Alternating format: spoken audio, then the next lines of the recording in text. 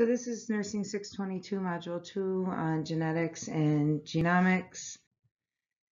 And your objectives to determine the relationship between the genetics and genomics for health prevention screening, diagnostics, selection of treatment and monitoring of the treatment effectiveness.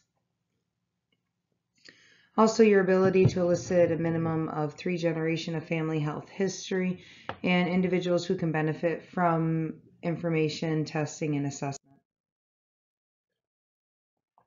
So we look at genetics and the history of it and the structure of the DNA, the progress that has been made on genetic testing, and how important it is for us as clinicians and then further as educators educators to keep up on genetic testing and look at those competencies that every disease has a genetic or a genomic component. And this is important because we're looking in primary care as disease prevention, the screening, the diagnosis, prognosis, disease monitoring. You know, we talk about those different disease processes and diagnosis that are more common in certain population based on race, based on family history. This is why it's so important. It is a non-modifiable risk factor. You cannot modify your genes. And I hmm. can't express that enough that this is not modifiable.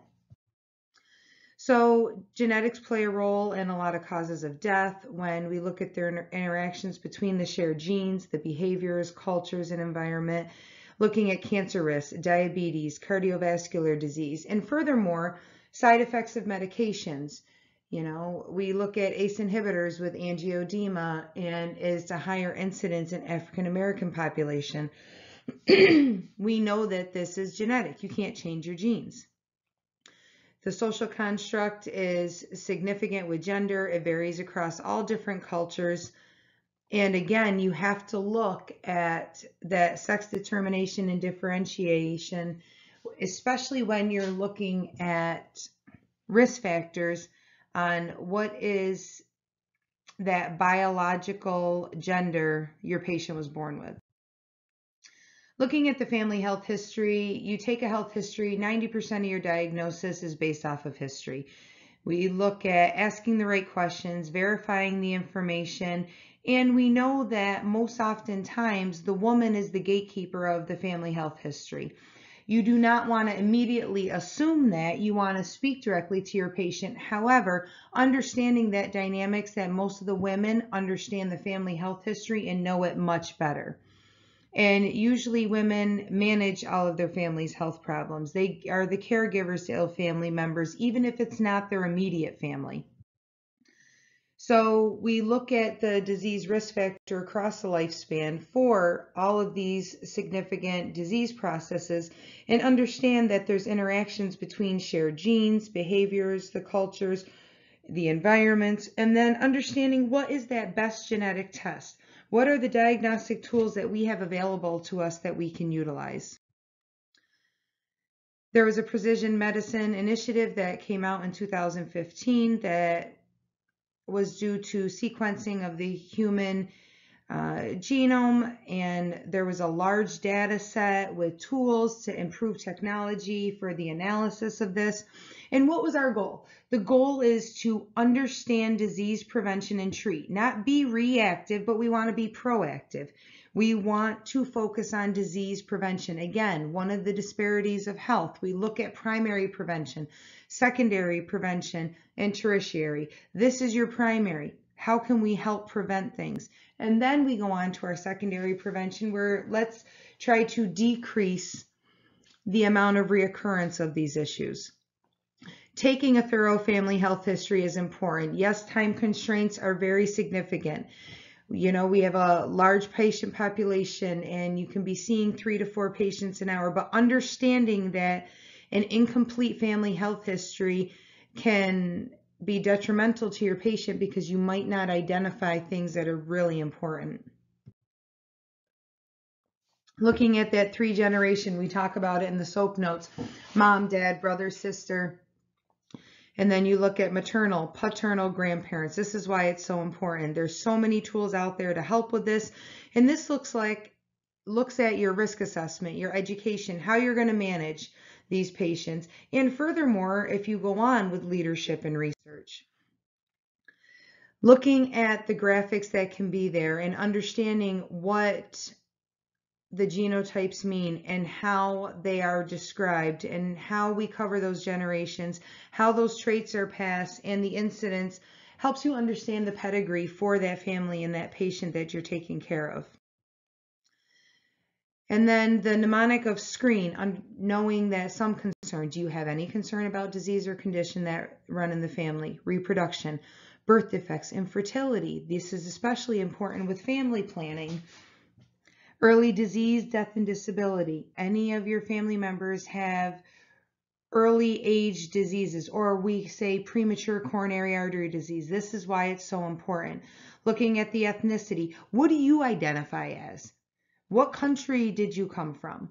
What do you see as where your ancestors are from?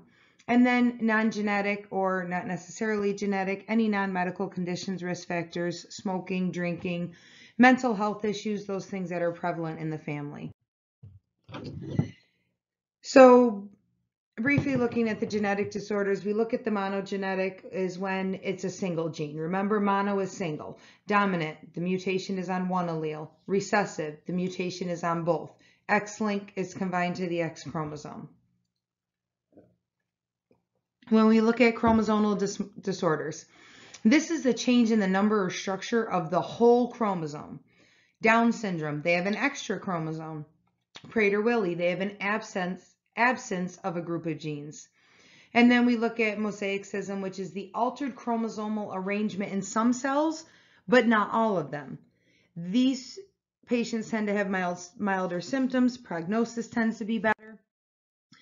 Combination of genetic and environmental factors with like spina bifida. Multifactorial disorders that tend to cluster in families. A lot of times it's population recurrence risk? Could it be exposure? Other things that have caused genetic that have caused genetic abnormalities. Mitochondrial disorders. The mitochondria contains the 37 genes. It's usually maternal transmitted. Teratogens that we look at is an agent that can increase the incidence of congenital malformations. Okay, we talk about radiation, those different types of exposures. This is where you can have the modification and ultimately have that congenital malformation. And the genomic factors can significantly modify the effects of specific teratogens. Mendelian inheritance patterns, we look at the autosomal dominant as well as the autosomal recessive. The dominant has an inherited single copy of the mutated gene. The risk is 50%. Pretty high, right? Usually the donating parent has the disorder. The recessive is two copies of the mutated genes, one from each parent. The offspring with only one copy are carriers. Carriers can pass this to their children, but sometimes themselves are unaffected. The risk is 25% for each child, 50% for risk of being a carrier, 25% to be unaffected. The X-linked dominant is the single abnormal gene on the X chromosome causing the disease. If the father is affected, the mother is not. All female offspring will inherit the disease.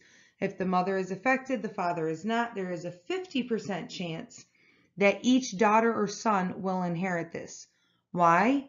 Because we have two X genes and we have an X and a Y, correct? So understanding that X links dominant is extremely important right? Then the recessive usually occurs in males who only have one X chromosome.